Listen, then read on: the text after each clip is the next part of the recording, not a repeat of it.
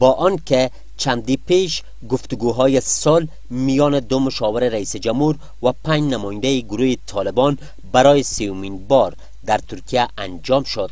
و تازگی سید آمد گیلانی رهبر حزب محاز گفته است که در پیوند به تامین صلح با نمایندگان گروه طالبان در پاکستان دیدار کرده است.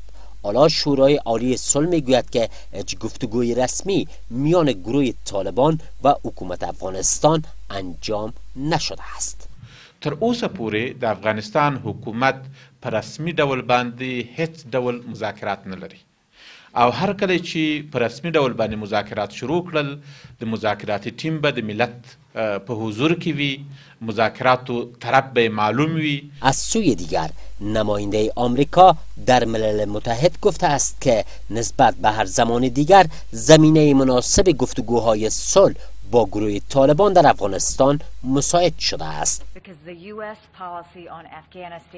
سیاست امریکا در مورد افغانستان نتیجه می دهد ما در ارتباط به اینکه سیاست امریکا چی نتیجه می دهد در آنجا تغییرات چشمگیری را می بینیم ما می گوییم که به مذاکرات با طالبان و روند سال نسبت در گذشته ها که شاهدش بودیم نزدیک تر شدیم. در همین حال وزیر خارجه روسیه گفته است کشورش آماده است. تا میزبان مذاکرات صلح میان گروه طالبان و حکومت افغانستان باشد. د روسي د خاص استازي روستنی څرګندونې د هغو څرګندونو سره چې څلور پنځه میاشتې مخکې کولې کاملا توفیر لري.